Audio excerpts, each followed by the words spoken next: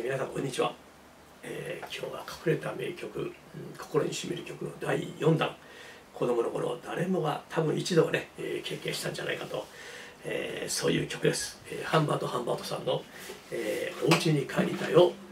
やります。よかったらお聴きください。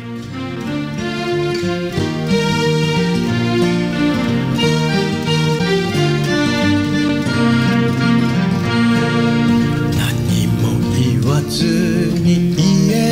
家を出て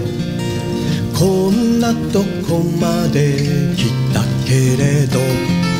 日暮れとともに泣き虫が心細いとべそをかく赤く染まる街の空をカラスが鳴いて行き過ぎる道に伸びる長い影が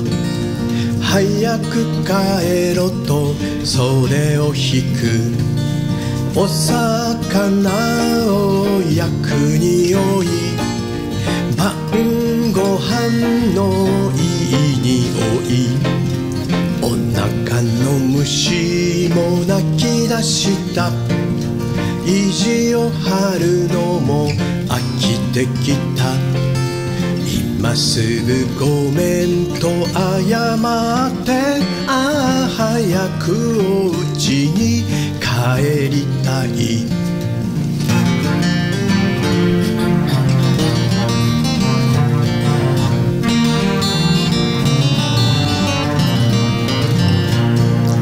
行くあてのない僕の前を子供が一人行き過ぎる鼻をすすりしゃくり上げて脇目も振らず走ってく。闇に消えてく背中。あの日の僕に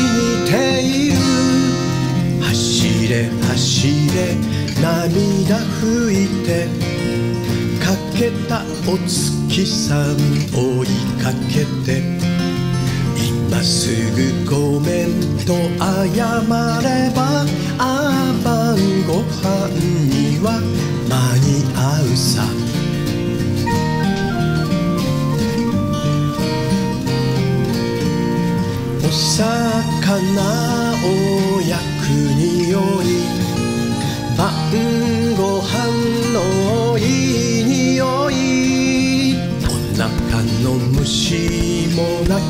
した。一を張る。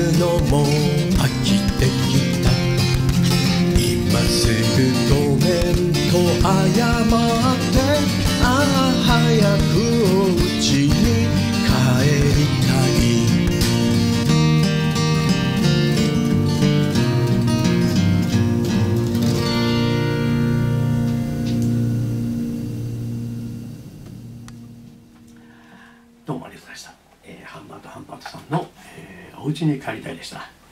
えーハンバートハンバートさんというともう唯一無二ですね、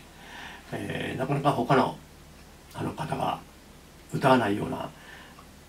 えーシチュエーションというか、えーテーマというか、えーえこんなこのシーンを切り取るんだともう驚きます、まあ、あの、えっと、今日の、えーこのプチ家出みたいなね、えー、こともそうなんですがなかなかこ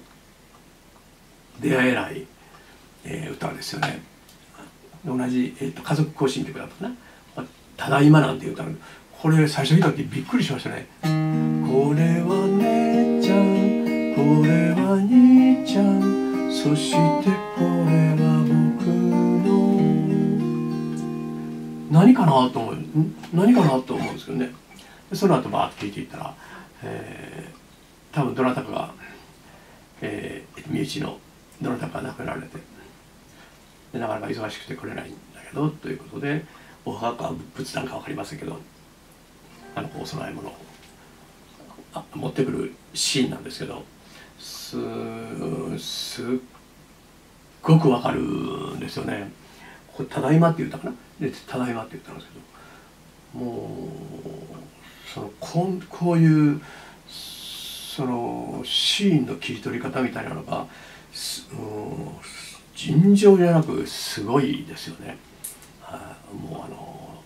どの曲を聴いてもあの感動しますね。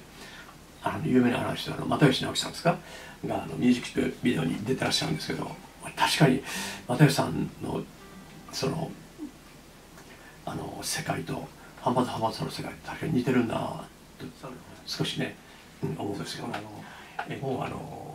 あのボーカルのボーカルの方は佐野優穂さんという、えー、方なんですけどこの綺麗なこう可愛らしい声なんですけど歌も抜群ですし表現力もすごいし私あの一つ発見したんですけどあのヘッドホンで聞くとねまた違うんですよね声がね、えー、